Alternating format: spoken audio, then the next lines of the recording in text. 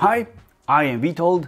This is the new for 2023 and on KTM 890 Adventure R, which forced some of us to wait for itself as KTM had limited availability of this version in some countries in the beginning of its production. And you know what? Maybe that's for the better as I have also ridden the regular 890 Adventure before. You may check my honest review of that bike. And some of you may think that you want the R variant, but you be very wrong in fact. And let me explain by going over what this bike offers, what it's like to ride, where to ride it best, and how I score it knowing all other mid-sized adventure motorcycles. I will not be riding this motorcycle off the road as I focus on on-road use instead, so if you are interested in this motorcycle to use it as a dirt bike, you may probably find some other reviews that perhaps will tell you more on what you're looking for in terms of that off-road use. What I focus on is how enjoyable all these motorcycles are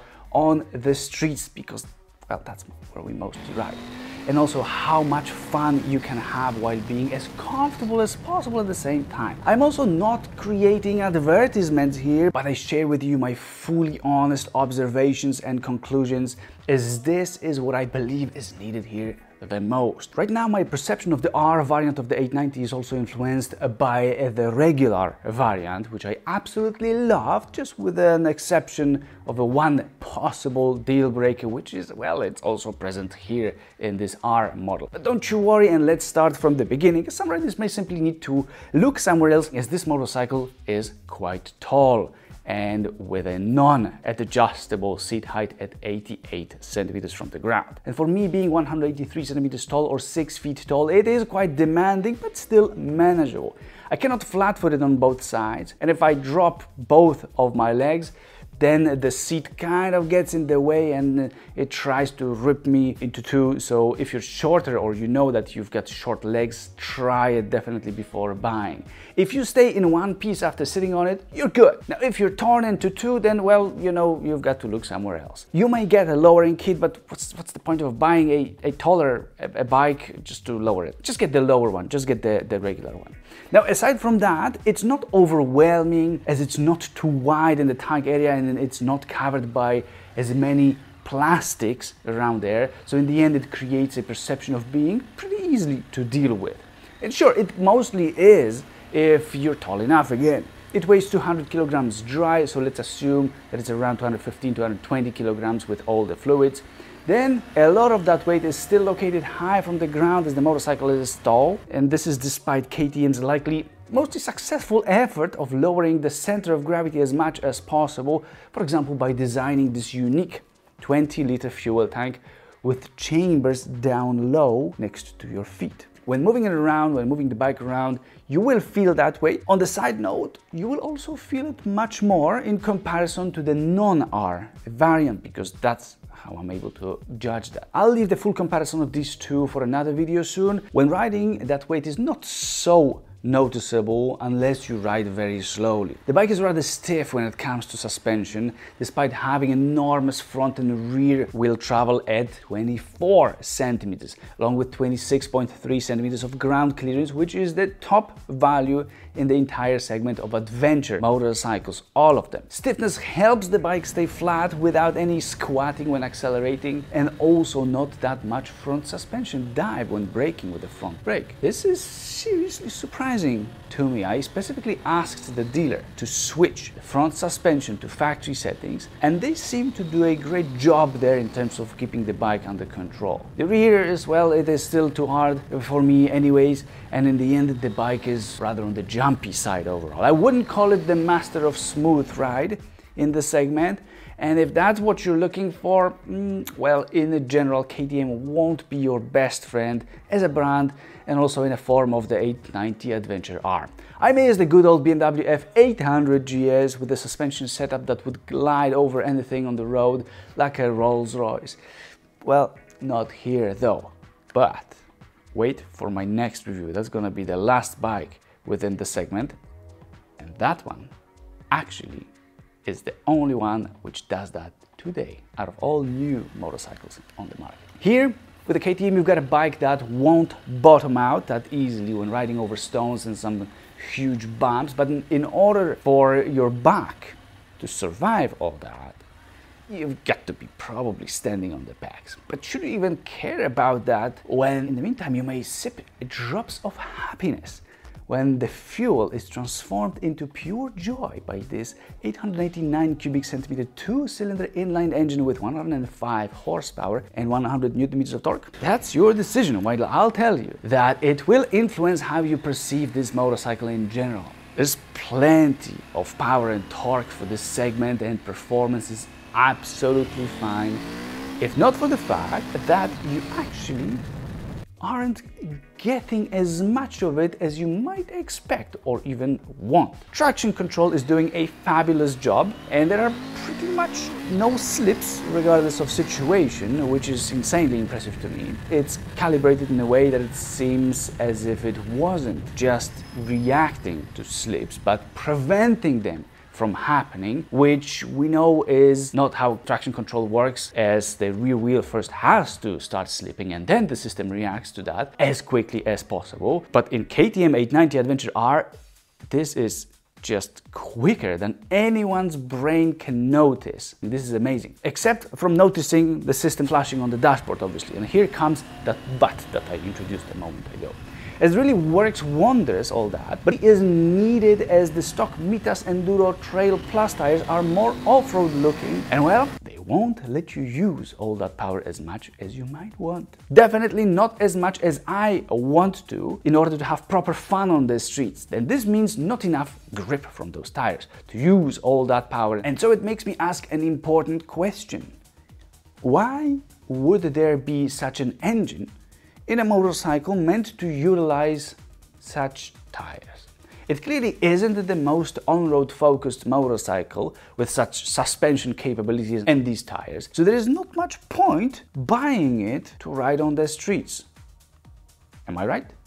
Then off the road there is way too much power that can be used as well, even regardless of the tires. You may swap the tires for proper enduro ones and, and use the bike for harder off-roading and perhaps this would make the most sense. That's the way it should be. At higher speeds where grip when accelerating isn't a key factor. It does well and it instantly takes off with no drama, which I love so much about KTM two-cylinder engines. Both this one here and the larger 1290 series with a V twin engine. It's so effortless with smooth power delivery, it's always ready, with not too much vibration, with no strange noises, or being too loud and dramatic. It's none of that. It gives an impression of having limits placed very, very far, and it's so great. And of course, it's not as mind-blowing as some motorcycles from the large adventure segment, because of the power simply, but it's there with the average ones. It does well at very low RPM with no shaking, it can ride in higher gears at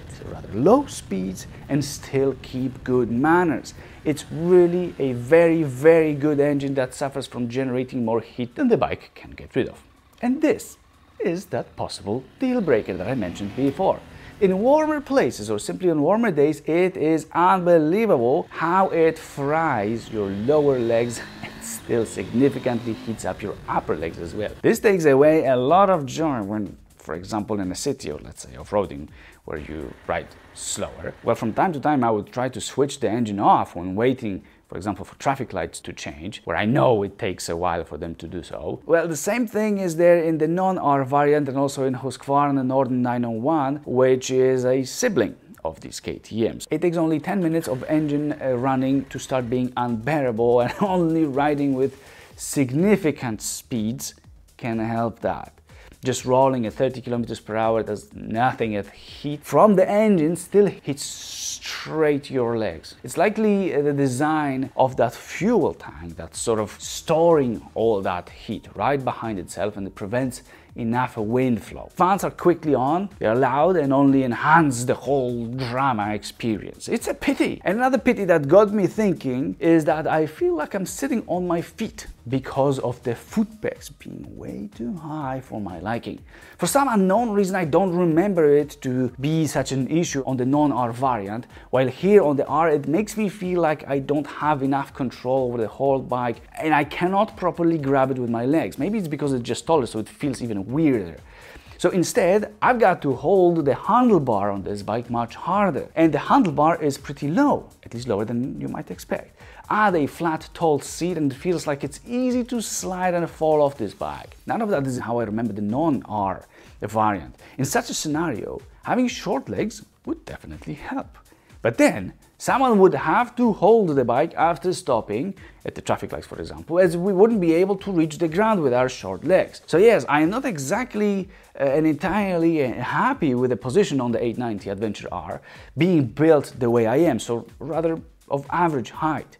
The handlebar may be rotated up and, and, down and is medium wide, which suits me very well in this area. It gives enough control when maneuvering and it also allows you to squeeze into some tight spots. One more benefit is that it's so high, the whole bike, that it's above all average car mirrors. I don't recall noticing it on any other motorcycle so far, but here I'm like, well, I don't even need to slow down to avoid these mirrors, as they all fit underneath the, the handguards. This is great. Just be careful some cars are strange now. They try to make you feel like you're in a Jeep Wrangler and they can indeed be higher than they initially appear to be, so those crossovers. Speaking of mirrors, those here are round and I do like that. They aren't the biggest, but at least they don't have a stupid shape preventing us from seeing what's behind us. Square or rectangular ones are the best, I think but these are mostly fine too. They don't vibrate much and generally I would say that this KTM is an annoying vibration free motorcycle. So you already know that it's rather stiff, you know that it's powerful, but how does it handle? It does fine. Being stiff helps it in this area and obviously it's still tall and so it needs time to change directions, but it's not like it's sloppy or anything like that. It's precise when it comes to steering at some higher speeds it does what you want it to do, and while not being as applicable as some other less off-road oriented motorcycles, we shouldn't have anything in particular to complain about here.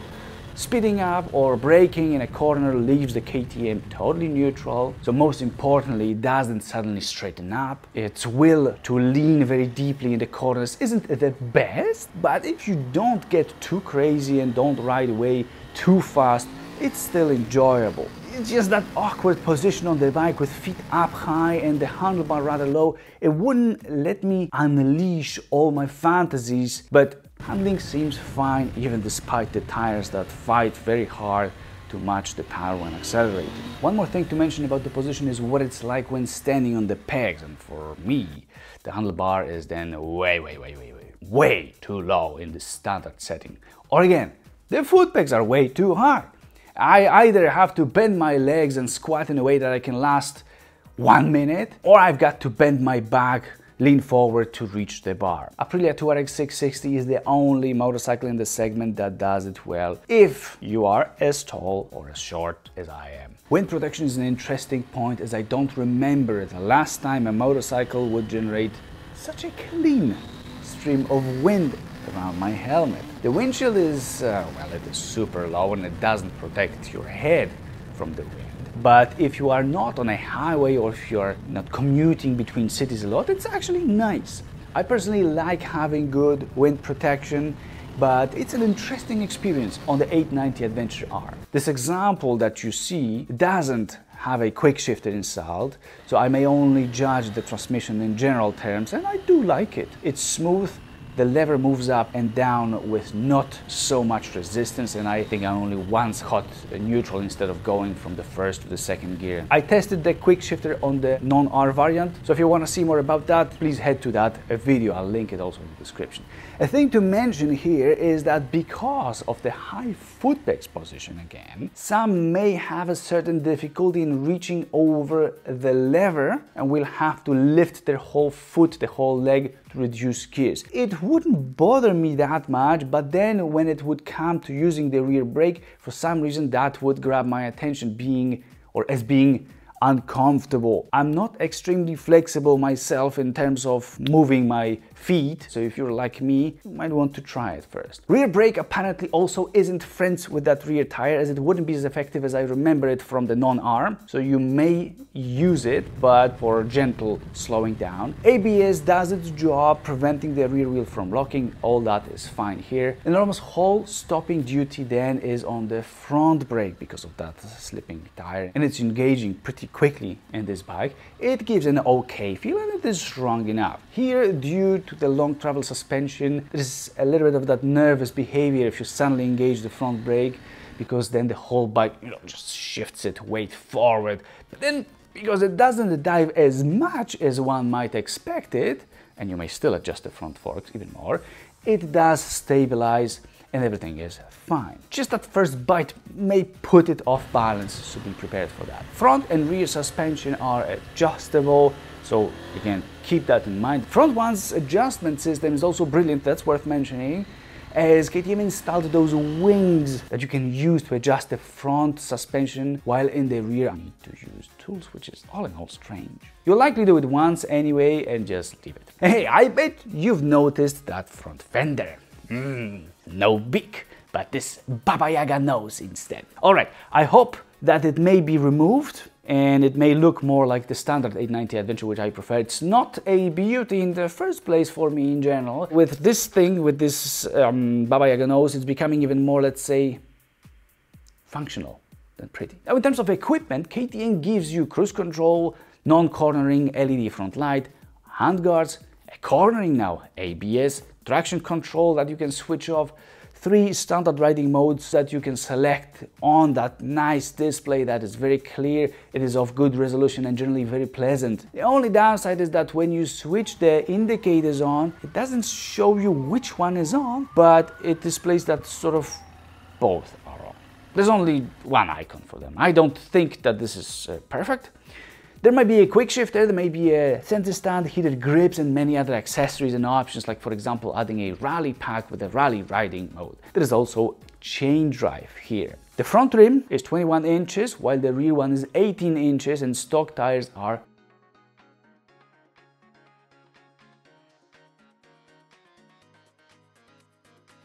not good. So all in all, it's a bit of a mix, this KTM 890 Adventure R plenty of performance that cannot be fully used.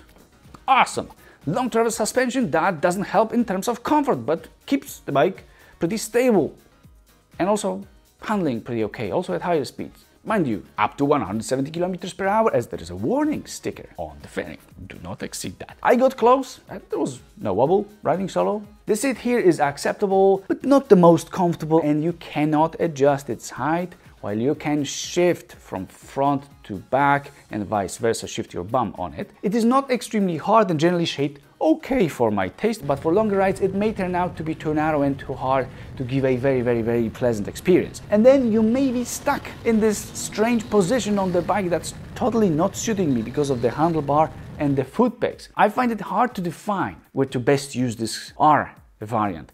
Filtering traffic is on one hand good, thanks to the handlebar that's high from the ground along with the whole motorcycle, and isn't too wide, but on the other hand, the bike isn't the king in terms of great balance. It's fine, but at low speeds it's you know long travel suspension you're sitting high high center of gravity it's not it's not perfect. There are better bikes. Then speed up and it's all great. And i'll tell you two things. One is that on Vitold's recommendation board this new for 2023 ktm 890 adventure r gets a six and a half out of 10 as a road motorcycle. Two I'm glad that there is the non-R variant of this thing. The score is influenced by the presence of the 890 Adventure without the R in its name and it's a very strong influence in this case. I suggest that you check out my honest review of that one or head-to-head -head comparisons between these two once it's online. It may shed a lot of light on why I score the bike this way even though it's mostly okay.